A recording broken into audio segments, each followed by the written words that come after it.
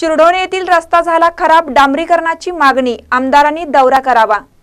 तात्कालीन आमदार राजू शेट्टी यांनी शिरडोण येथील कोईक वस्तीकडे जाणारा रस्ता अतिशय चांगला केला होता. या रस्त्याची सध्या दुरावस्था झाली आहे. रस्त्यात मोठे खड्डे पडले आहेत. या रस्त्यावरून प्रवास करणं धोकादायक बनत चाललं आहे. हा रस्ता केला जावा अशी मागणी अनेक दिवसांची आहे. तात्कालीन आमदार राजू शेट्टी यांनी हा रस्ता केला होता. त्यानंतर या रस्त्यावर साधा मुरुमाचा खडाही पडला नाही. आमदार उल्हास पाटील यांनी या रस्त्याची पाहणी करावी आणि तात्काळ निधी देऊन हा रस्ता चांगला करावा.